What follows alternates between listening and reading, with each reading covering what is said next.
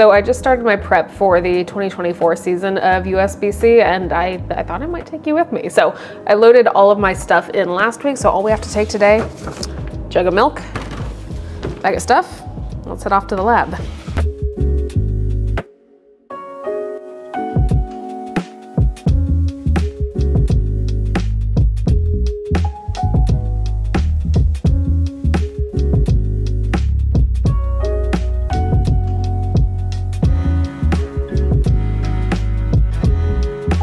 So right now, uh, qualifiers is about two months away. We're a little bit under two months actually. I'm still in kind of the script writing process of my routine. Uh, we've basically finalized my coffee. My script is pretty close to being done, uh, but I'm not at the point where I'm doing full rehearsals yet. So today I'm hoping to really dig through all the wares I currently have from past years, pick the ones I'm gonna use again, and then hopefully make a list of what I need to purchase for this coming year. This is my huge, terrifying box of competition past. So uh, let's uh, let's see what we've got in here. These are milk pitchers. Uh, I've got two that I use for milk sharing. Uh, a nice 32 ounce one, and then a little I don't even know what size this one is. This one's a bit smaller. Uh, it's from Barista Hustle. I've been using these since like day one of competition. Don't think I'm changing them. Cups, just just so many milk and espresso cups. Tiny spoons. Tamp, this is a force tamp, so it's a pressurized tamp. I'll show you how it works. Uh, over there, I will, I will probably use this again. We'll see, still deciding. Scales, can't really, can't really not use those. Mats, station setup, an infinite amount of towels. Um, and then actually this is kind of one of the tools that I'm, I'm taking for a test run right now. Uh, this is the I feel like I'm in a, a little beauty vlog right here. Um, this is a WDT tool. Uh, this is the auto comb from Barista Hustle. So same folks who make the pitcher right here. Now I've used WDT for a couple years now. I did it manually by hand um, in 2022 when I won, and then I used the Moonraker from Weber last year in Nationals. Um, this is new, this is new to the market. Um, I am trying it out. I, I, think I will probably use it this year, but again, I've got to like kind of put it through the ringer first to see how it goes with my workflow. Um, I've got coffee loaded into the hopper already, so I'm just gonna get my station set up and we'll go from there. Okay, so all of this is, is pretty liable to change once I, I start practicing, but I like to start out just kind of figuring out what my grinder to machine workflow is gonna be. It's kind of tricky because in this lab, um, there's a knockbox right here. And so this usually wouldn't be here on stage in competition, but I have to kind of work around uh, and adjust to it being here during practice. So I'm gonna stick my scale up here, do my tamping mat We'll see how that goes right there. And then down here, I'm gonna set up all my, all my equipment. So tamp, and then WDT as well. Ooh, we are, we are spraying a little bit. There we go. So in theory, dose, place your portafilter right there.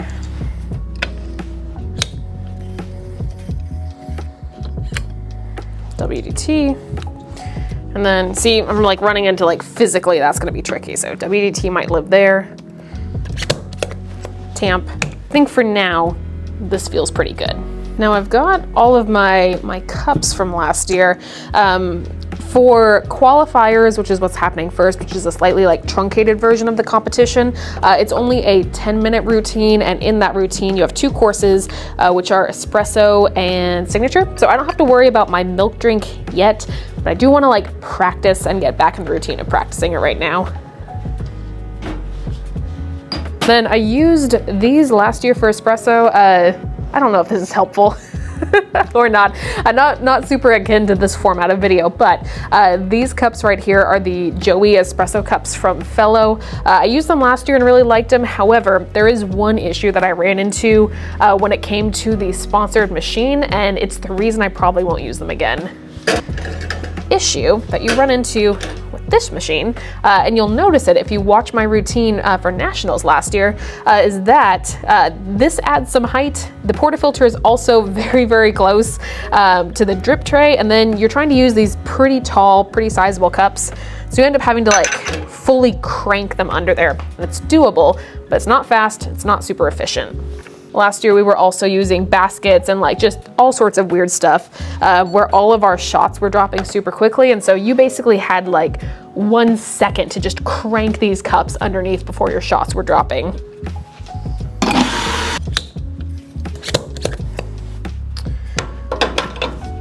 Okay. Let's see what we've got here.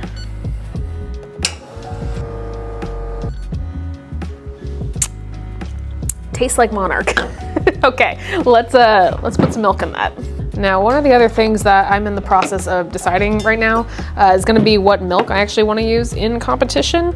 This year is kind of interesting because it really is anyone's anyone's guess on what's going to be uh, popular and successful. In past years, in the score sheets, um, you have only been allowed to use dairy milk, cow's milk, like all that stuff. And so there were a couple ways that competitors had figured out to um, mess around with the format of dairy milk. So one of the most popular, even to this day, um, was created by Ben Put, who is uh, a long-time Canadian barista champion. Um, he put together freeze distilled milk, which you've seen me use many, many times in the past. Um, simply the process of freezing and then slowly thawing your milk uh, off to about 50 to 30%. That way you really concentrate the proteins and sugars and fats and good stuff in the milk and you remove a lot of that water weight. Could do that. That's been done for a long time. It's delicious, of course.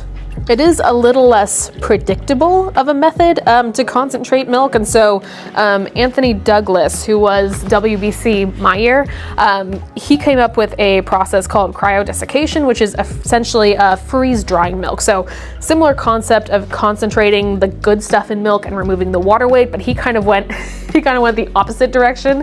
Um, and turned it into powder and then rehydrated that powder back into milk. And so it's a, it's a higher concentration than you would find in something like this. That's a lot of words to say that those are two options if I choose to do dairy milk this year. However, the rules changed. So now you can use um, alternative and plant-based milks as long as they're commercially available, which, which should be fun, but it just makes the milk course a little less straightforward than it used to be. I'm uh, kind of nervous. I haven't milk shared uh, in the competition setup in a while, and we'll see how it goes.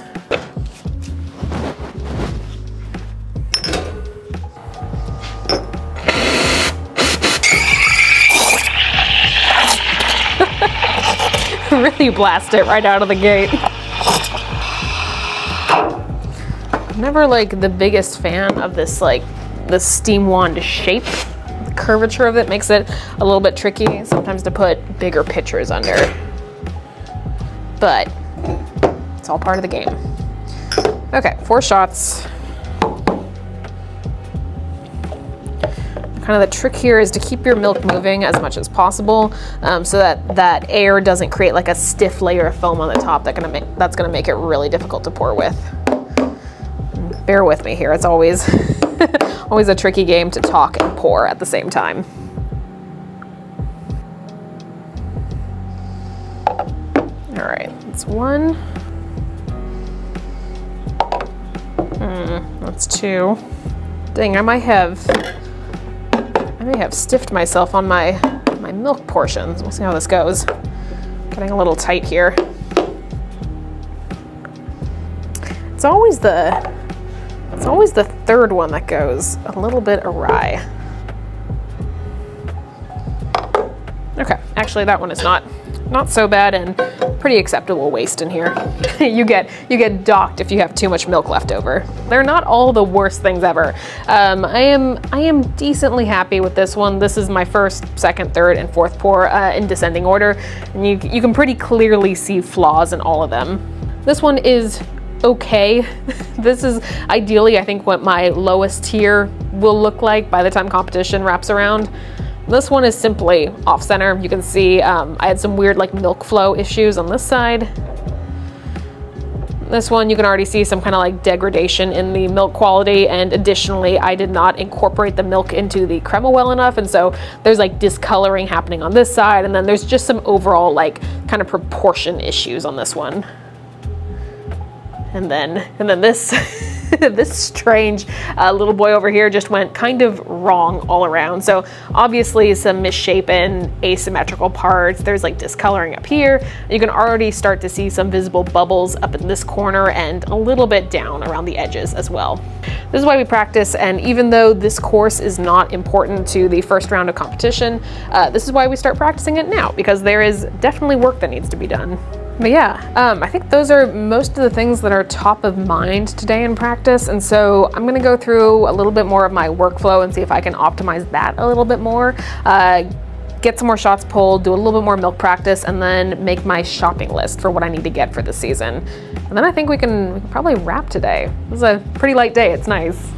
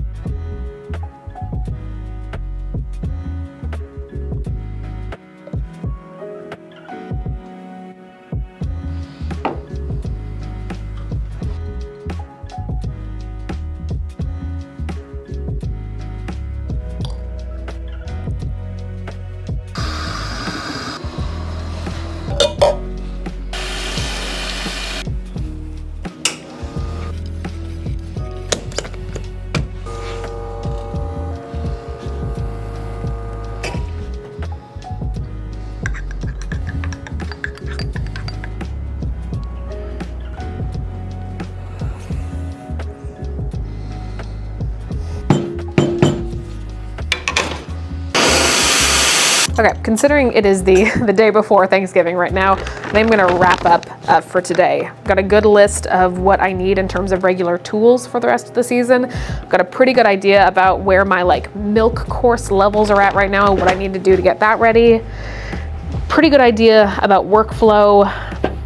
Yeah, so I think that's that's kind of the, the base. I I'm excited for the season. I'll be honest. I think I think going into this season versus past seasons, it took me a lot longer to get to my script theme and what I wanted to talk about. But once I figured that out, I feel like it's all come together really quickly. And I'm speaking about it very vaguely right now uh, because I don't want to really spoil anything. Uh, and in addition, like stuff might change. So I don't want to like set you up with any expectations that I don't follow through on. Uh, but for the most part, I am a pretty excited. I know it's been, I think, three years now that I've been kind of documenting um, USBC to some extent online. And so some of you have been through this with me before, and to some of you, this is probably pretty new and weird. You don't really know what you clicked into, and that's totally fine. My goal this year is to highlight at least a lot more like behind the scenes than I usually do. So just taking chances to like kind of talk through what I'm actually doing and what's going on behind the scenes rather than just being like, here's what happened. I'd like to get you a little bit more into the the back process of this all, which is like days like this, where it's like not super glamorous, but it's just testing stuff out and trying different tools and just kind of like doing rudimentary practice. I feel like I keep saying that I'm very excited about this season and, and really, oh, rag on the ground. Really, that is, that's true like every season. I one of the things I always say to myself and then say to other people and especially like new competitors who are wanting to do this is that you have to like you have to enjoy this this part of it. Um, I'm, I'm, pretty sure every barista competitor who competes, myself included, like we want to win. That's why we're doing this. Um, but at the same time, you have to have something else you're taking away uh, from the whole experience. Otherwise, you're just you're setting yourself up. Um, for a lot of heartache and disappointment in the process. I feel like that kind of segues into the, the answer I always give people when they ask me why I'm still doing this. Um, especially after after winning in 2022. And, and really the truth of it is that this is this entire process of getting one of these routines ready is such an interesting chance for learning that is is kind of hard to replicate in any other scenario. Um, barista competitions really force you to learn new things really, really quickly. Um, and personally, I find that really beneficial for myself. So I tell people as long as I am having fun, as long as I'm enjoying it, and as long as I feel like I am still I don't know, as long as I'm still learning something, um, I feel like that's my metric for whether I want to compete again. But I could wax poetic about competition uh, and coffee also pretty much all day, but it's like 3.30, Thanksgiving is tomorrow, and I would like to go home. So I'll see you all next time. This has been fun. I can't promise how often these sort of vlogs will exist, but trying to get into the habit. This is definitely a new, a new muscle I need to exercise, so see you all next time. It's always so weird to come over here and then turn off the camera afterwards.